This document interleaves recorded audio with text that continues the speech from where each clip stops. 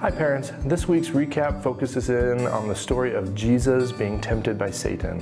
And this story can be found in both Matthew chapter 4 and Luke chapter 4. This story is helping to answer our overarching question right now of what did Jesus do to save us? We believe that Jesus lived a sinless life, died on the cross, and rose from the dead. It is easy for us to draw an application for us like, oh, we just have to depend on God when we face temptation. But there's more to the story than what's in it for us. Let's check out that story. After Jesus' baptism, he went into the wilderness and fasted for 40 days. At the end of this time, Satan came and tempted Jesus with three different offers. He said, Turn these stones to bread because you're hungry. Or, and then he said, Jump off this temple and trust that God will not let you fall. And then Satan said to Jesus, I will give you all of this if you just kneel and worship me.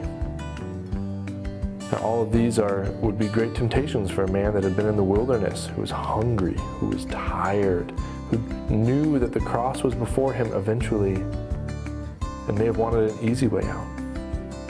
But Jesus doesn't fall. Jesus combats every attempt of Satan with the Word of God and does not fall prey to any of Satan's schemes.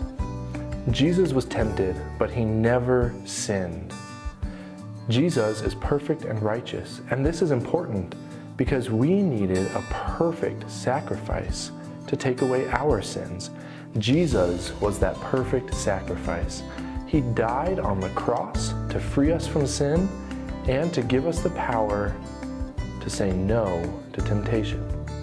And as we get to the questions, I want to encourage you get your Bible or get your child's Bible and open it up to either Matthew 4 or Luke 4 and have that open as you go through some of these questions. What is one thing you remember from this week's Bible story? Who came to tempt Jesus? Why did Jesus choose not to turn the stones into bread when he was hungry? How did Jesus resist the devil's temptations? How can we know what choices God wants us to make?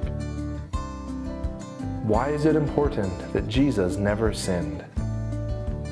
And finally, parents, I want to encourage you spend some time as a family choosing a verse to memorize together that reminds you to follow God instead of temptation.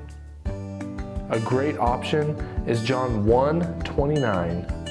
And it says, John saw Jesus coming and said, Behold, the Lamb of God who takes away the sin of the world. And this is so important because it reminds us not only that Jesus took our sin, but there was a reason that Jesus had to come in the first place. There was a reason he had to live a perfect life. It was because of our sin and his love for us that put him there. It is a joy to partner with you as you disciple your kids and lead them to the foot of the cross. I pray that these videos will help foster and spark gospel centered conversations and discipleship in your own family as you sit and as you walk and as you rise.